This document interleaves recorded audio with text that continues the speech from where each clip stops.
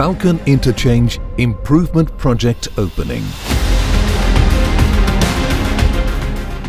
Under the directives of His Highness Sheikh Mohammed bin Rashid Al Maktoum, Vice President, Prime Minister of the UAE and ruler of Dubai, and the follow-up of His Highness Sheikh Hamdan bin Mohammed bin Rashid Al Maktoum, Crown Prince of Dubai and Chairman of the Executive Council to upgrade the roads network across Dubai and develop Al Shindagha Corridor.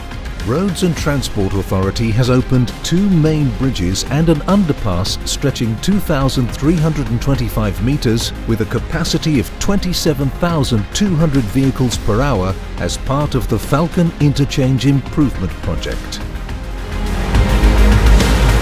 Project Progress The first of the two bridges opened on Al Khaleej Street extends 750 metres northwards and the second spans 1,075 metres southwards.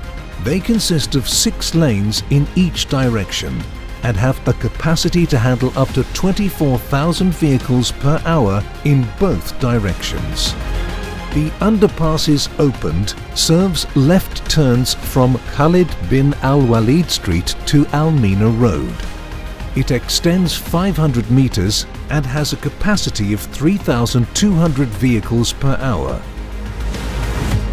Construction works are nearing completion in a single lane ramp that serves right turns from Khalid bin Al Waleed Street to Al Khaleej Street stretching 250 meters with a capacity of up to 1,600 vehicles per hour.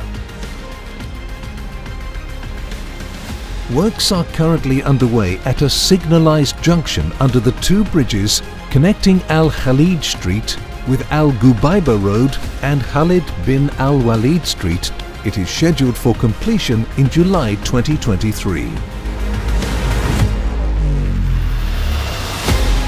The project will step up the capacity of Al Khaleej Street, ensure free traffic movement, enhance traffic safety along the corridor and provide entry and exit points for Mina Rashid project in addition to parking spaces under the bridge.